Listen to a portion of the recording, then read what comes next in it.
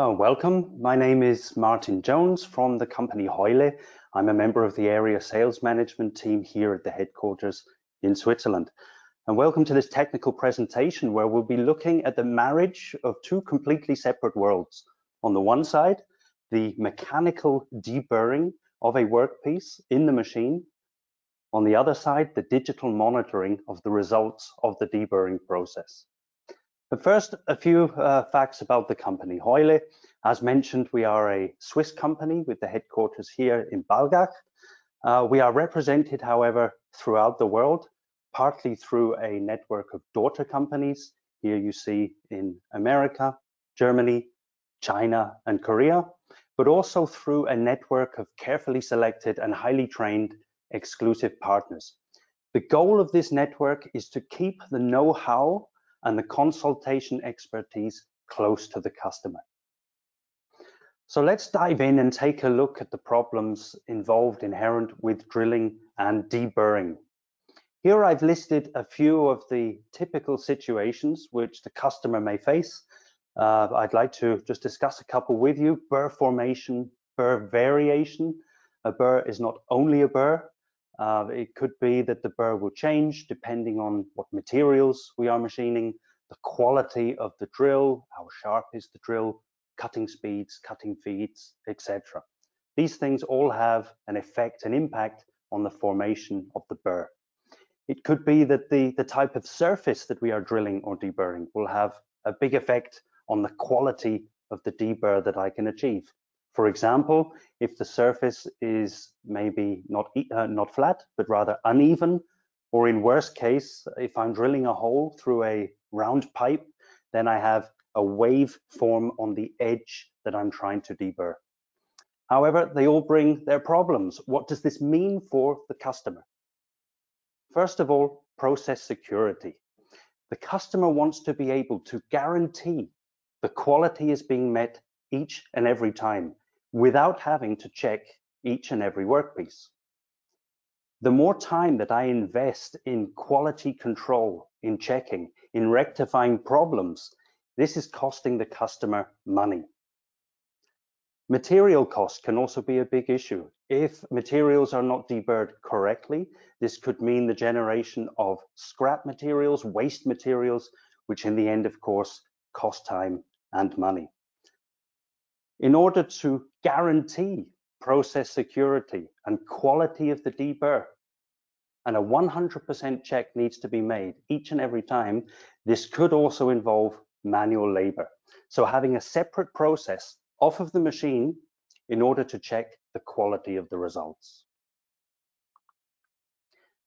So how does the customer go about solving these problems? Well, first, we need to form a consultation team. And this team for the deburring consists of the customer, of course, with his, uh, uh, with his problem, with his workpiece, and then the specialist in the deburring applications, which would be the company Heule. I cannot tell you how often customers, uh, workshop managers, machine operators have come to us and said, hey, uh, the guys in the design office, they put features on paper which are very difficult or even impossible to realize on the shop floor. And it's the job of Heule together with the customer to find a solution to solve these problems. So first of all, the consultation, then we need to define the right tooling for the job. Once this is done, we then take it to the next step by providing the customer with the tools that we believe will satisfy his requirements, and then we can carry the tests out on the shop floor on his workpiece. So now let's move on to a real life application that we have with a large supplier to the automotive industry. Here we see the picture of the internal workings of a pump. And we have a quite a challenging situation here of deburring the edges between two interconnecting bores. So we have here, we have one, two, and then this one, the third one here. For the first two here, this one, the top of the bottom, it wasn't so much of a challenge. We could actually use standard tooling for this. The third one presented more of a challenge and we had to use a specialist tool for, um, for cross-bore deburring. What the customer needed to achieve was to have complete 100% process security without the spot checking. So here we have a picture of the customer setup. This is the machine shop where we see all of the machines producing the work pieces. This is the tool that is being used. However, in order to achieve this 100% guarantee of quality, the customer then had to check each and every workpiece. Why? Because of potential sporadic problems. What do I mean by a sporadic problem? This is not a problem which will develop gradually over the course of time, but rather one that changes and creates the problem or the error very suddenly. So the customer wanted to do away with all of this uh, secondary quality control because it costs a lot of money. When the customer came to us with the challenge, the first thing that we wanted to do was to see which tooling can we use. I mentioned before that with two of the bores, we could actually get away with two standard tools. So seen here, the four millimeter and the 5.7 highlighted in green. One tool, however, uh, we had to invest a little bit more time and investigate in more depth and to use a special tool in, from our COFA X range. So let's take a look at the tools in a little more detail. For the first two applications where I mentioned we can use the standard tools, we used our COFA tool, which is the standard go-to solution for deburring front and back in one operation directly on the machine. It's a very easy to use tool. We can go down to a diameter down to two millimeters, so really quite small. And it uses a coated sintered carbide blade, which uh, we can change accordingly depending on the materials that we are using. And the blade is very, very easy and simple to replace. If we look at the tool in a little more detail, we see here we have the tool body, then we have what we call the spring, which is a very important component in the tool. I'll explain how this works uh, shortly. We have the, the blade holder and the blade itself. The function of the spring is actually two functions. First of all is to always to return the blade to its neutral position once it's finished deburring. And the second function is to exert the correct amount of force on the edge for cutting. The harder the material, then the higher the cutting force we need. So we would use a stiffer spring. So it's quite a simple construction for the COFA tool.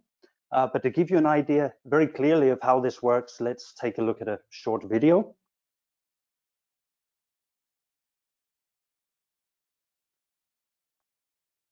So we see the tool starting and in one operation we can deburr the top and the bottom and as you see here in this example on a flat surface at the top but the rounded surface on the bottom of the workpiece. Here we see again in slow motion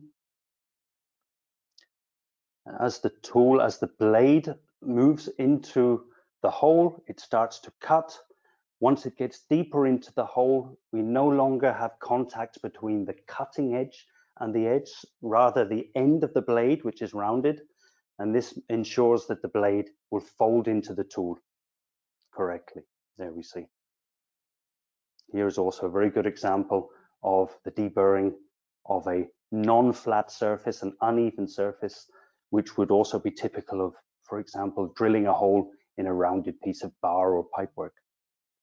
So for the two standard applications, we could use the standard COFA tool.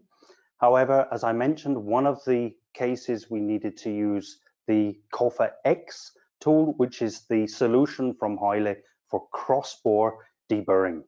What do I mean by cross-bore deburring? Well, as we see here, where we have one hole which will intersect with another bore and the intersection here is the edge that we want to deburr. And for this, we need to use a special tool that we call the COFA X. It is for use with front or back deburring. So if I'm only deburring the top edge, I use one tool. If I'm deburring the bottom edge, as in the case with the pump manufacturer here, um, it is a back edge deburring tool. The smallest diameter, we go down to four millimeters. In this case, we use coated sintered carbide blades, just like with the COFA. Uh, the blade is easily replaced. And with this tool, the COFA X, we utilize the maximum functionality of the CNC machining center. The construction of the tool is very similar to the COFA. We have our main tool body, we have a spring, we have our blade. The operation, however, is a little bit different. Let's take a look at that with the video. I'll talk you through it.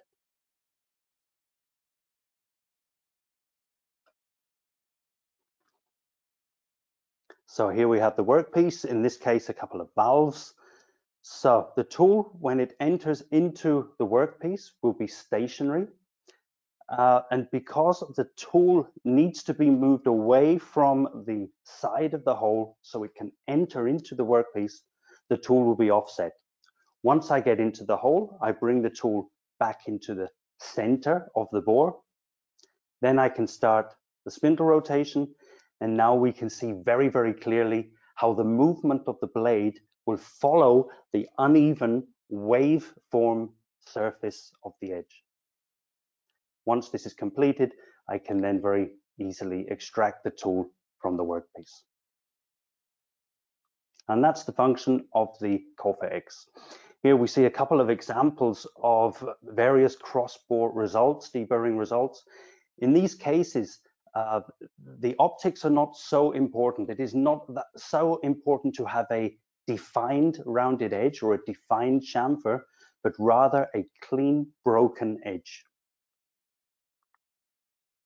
So we've now defined the tools that we want to use for deburring these holes. How do we now go forward? Well, with the two standard applications, it's just a simple process to define the parameters. We know exactly what size tool we need to use. We know the spring hardness. We know the coating for the blade. We therefore just need to decide on cutting speeds, cutting feeds. That's it. With the second application, which requires the COFA X, this took a little bit more uh, work, a little bit more attention.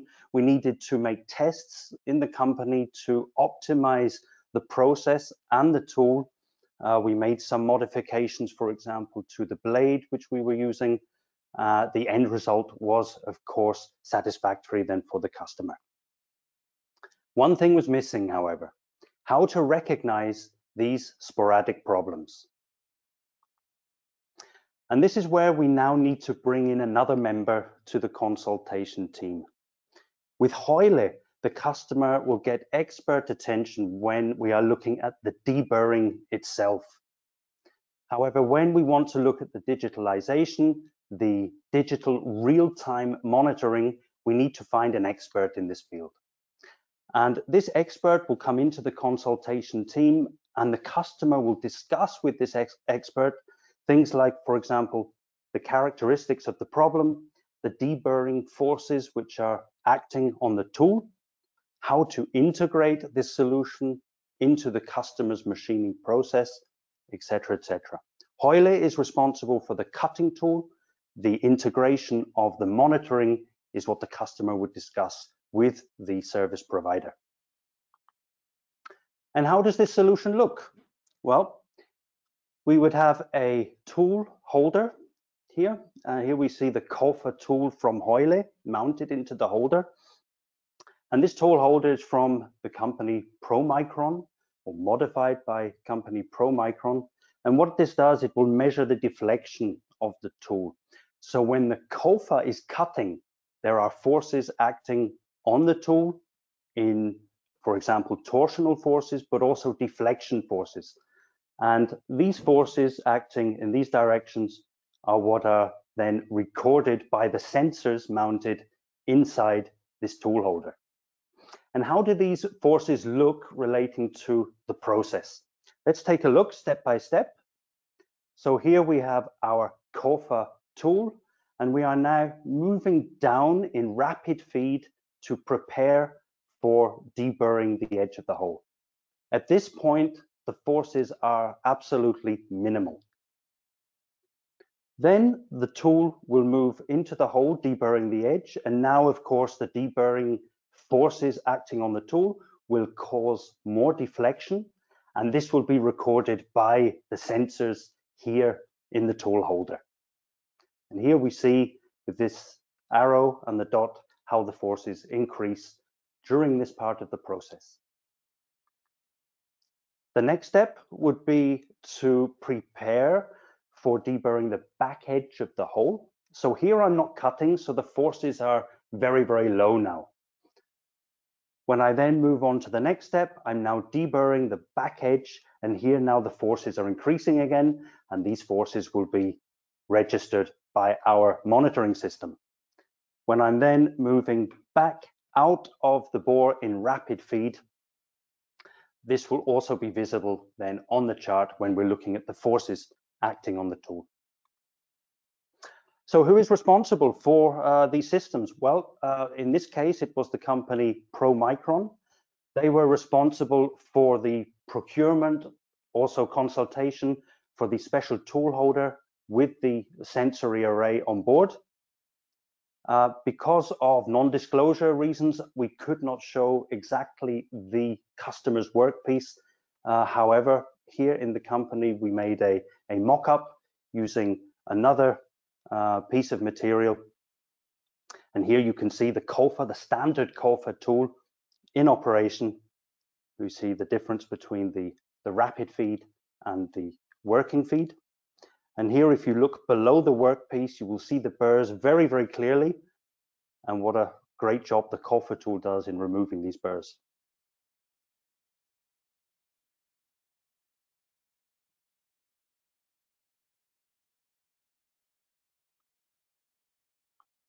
So we've seen the tool in operation, uh, but how does the digital monitoring look? So if we take off our machine operator glasses for one moment and put on our administrator glasses, then what we will see is this graphical representation here. And here we see the forces which are acting on the deburring tool during the operation. As uh, I mentioned at the beginning, this particular customer, the operation is a backward deburring only. So in operation number one, I'm passing the tool through the workpiece. Then I'm preparing to deburr the back edge. And then in the end, the last operation is to deburr the edge backwards. And this we see here very, very clearly in the graphical representation. So here this peak indicates the blade passing through the hole. Then I have the deburring operation and then passing out of the hole. Very simple. However, the system needs to know what is correct and what is not correct. How do we achieve this? Well, we need to calibrate the system and we do this by making a series of deburrs and recording the graphical uh, effects on deflection and torsion here in the system. And the more times, of course, I do this, then the more references I have for the what we would call the correct deburr. Once I have this, and then I get a situation, for example, like this one, or here, then the system will recognize this immediately as not being a standard deburr. It will know we now have a sporadic problem, and it will react accordingly by shutting down the machine. So how does this group of components, uh, how are they integrated into the process? First, we have the tool holder, in this case manufactured by the company Rego-Fix. They will manufacture a special tool holder suitable for the sensor array, which will be integrated by the company ProMicron. The information generated by this sensor array will be handed over to the PC via wireless, and then it will be represented graphically for the machine operator or administrator of the system. So we've seen that we make several deburr tests, if you will, to define what is the standard, what is a correct or a good deburr. and to teach the system what is not acceptable. If we go in and look in a little bit more detail at one of these uh, one of these deburr cycles, it would look like this. The red line indicates the torsion which is acting on the tool, and the green line on the graph here is the bending moment which is acting on the tool. And so this would be repeated a number of times in order to teach the system, hey, this is the correct deburring representation. And anything outside of this means a sporadic error and immediate stop. We also see this here in this polar chart here. So we would have the repeated deburrs, repeated cuts. And then when one of these dots, for example, would to be way out of this cloud here, then the system will know something is wrong with the system. I need to stop immediately. So what to take away from this presentation? Well, first of all, transparency and open communication from the side, especially of the customer within the consultation team. Heule is responsible for providing exactly the correct deburring solution to produce the deburring results which the customer needs. Promicron, on the other hand, is responsible for the communication and the consultation for the digital monitoring system. So the, it's important for the customer to create this consultation team, to have the open communication, uh, to pull in Heule at the design stage, not too late, but right at the design stage. The customer has access to all of these expertise. He can achieve live monitoring of the deburring process. And this is a win-win situation for everybody. The end result for the customer is to be able to immediately recognize any sporadic errors in deburring which could result in costly machine downtime or even damage to tooling and expensive workpieces. So from my side, I hope that was interesting for you to learn how we can marry these two worlds, mechanical deburring and the digital monitoring of these processes. If you require any further information, then please do not hesitate to contact us directly. A lot of information you can also find on our website, www.heule.com. I thank you very much for your attention and look forward to seeing you soon. Bye-bye.